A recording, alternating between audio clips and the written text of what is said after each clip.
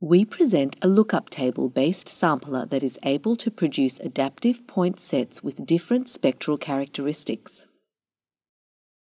Our method combines the fine granularity of polyominoes with the squared tiling structure of Wang tiles.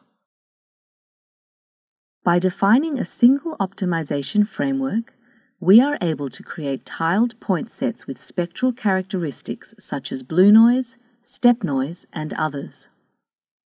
The heart of our method is an indexing scheme that uses the Thue-Morse word to identify tiles.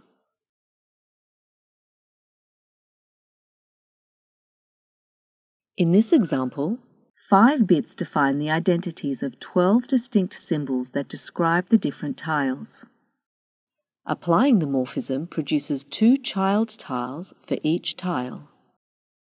The method works in two or more dimensions, bounded only by the available memory, since the lookup tables grow exponentially with the number of dimensions. By optimizing and subsequently snapping points, we are able to create self-similar point sets on the tiles.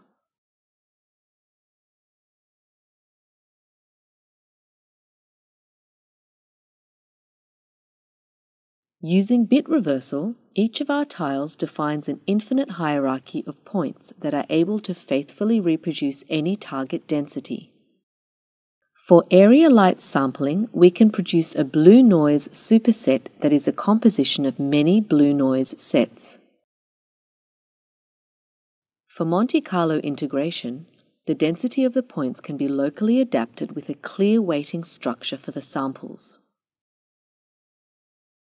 Our method creates point sets that are compact to store and very efficient to compute due to their compact lookup tables. It uses squared tiles with a single point per tile for a fine granular control of points. The point sets are distributed in a self-similar way to enable adaptive sampling. Sequential ordering of the samples per tile allows us to precisely control their appearance. Thank you.